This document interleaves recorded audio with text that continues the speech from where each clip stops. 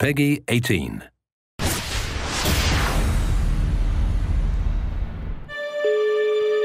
Hello. Hello, Victor.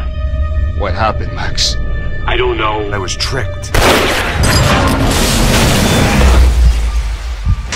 Just another day at the office, huh? Wake up, Max. The boss wants to see us. I was mostly working for Rodrigo Branco, a local businessman. Built things, won awards. One of the trophies he had won was his wife. She was hot and wanted to be dangerous. Just want my wife back. Time to find out what was going on here. This is Sao Paulo, brother. Could be anyone. Favela street gangs? Right-wing guns for hire. Ex-cops military, I don't know. Fabiana Branco, where is she? We are lost, Max.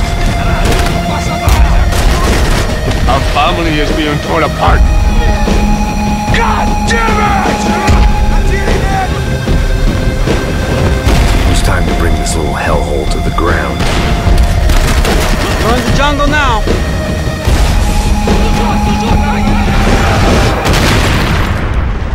Told you the city was dangerous.